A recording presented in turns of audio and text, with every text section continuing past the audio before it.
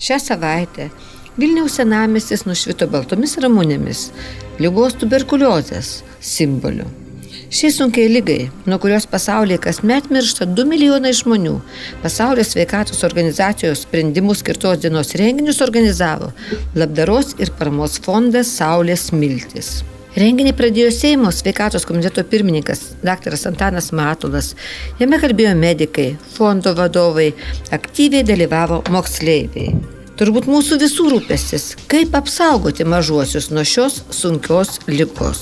Tuberkuliozė yra infekcinė lyga, kurią sukelia tuberkuliozės mikobakterijos ir tuberkuliozės mikobakterijos plinta oro lašeliniu būdu. Jeigu žmogus kosti, iškostydamas jis iškosti savo negeras bakterijas su savo skripliais ir pasėja į aplinką ir su pakilusiom dulkėm arba tiesiog su tais pačiais lašeliais, jeigu tas ligonis yra šalia jūsų, galima apsikrėsti įkvepiant tas bakterijas. Pirmie daktarė, vaikučiai serga tik plaučių tuberkuliozė, taip kaip anksčiau sakydavo džiova, ar ir kitų organų?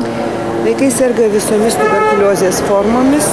Šiuo metu mūsų skyriuje gydome dviejų metų berniuką sergantį kaulų tuberkuliozę, turėjome žarnyno tuberkuliozę, e, žarnyno limfmazgių tuberkuliozę sergantį vaiką, turėjome akių tuberkuliozę, turėjome odos tuberkuliozę.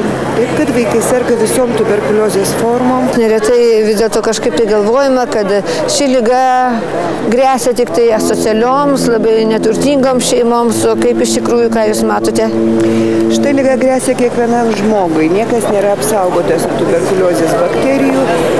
Nepadeda apsisaugoti nei išsilavinimas, nei materialinio padėtis, nei būtinės sąlygos. Jeigu tu įkvepi tų bakterijų, tu gali susirgti. Jeigu yra bloga imuninė sistema, yra nepakankama mytyba, kažkokie nerviniai stresai, psichologiniai, fiziniai stresai, taip pat lyga gali labai greitai išsivystyti užkrėstame organizme. O gydo ne tik vaistai, bet ir nebejingi žmonės susibūrė į labdaros ir paramos fondą Saulės Miltis. Gydymas yra ilgas ir sunkus ir vaikučiai beveik pusę metų turi būti ligoninėje. Jūs padedat jiems ir taip. Tenai lankosi mūsų savanoriai, pastoviai su dovanėlėm, su kiekvienos šventės. E, bet manyčiau, kad e, visi jau apie tai girdėjo, yra didžiausias mūsų projektas, tai Kauno pulmonologijos skyriaus remontas, kuri savanorių lėšom, be biudžetinių pinigų, o tik iš privačių lėšų, iš vaikų surinktų lėšų buvo atremontuotas pusės skyrius, padarytos linksmosios palatos, su jais buvo kuriamas filmas, pasilgau, kaip jie žaidžia, kaip jie valgo, kad jie neišsigąstų išsigąstų savo būsenos tenai.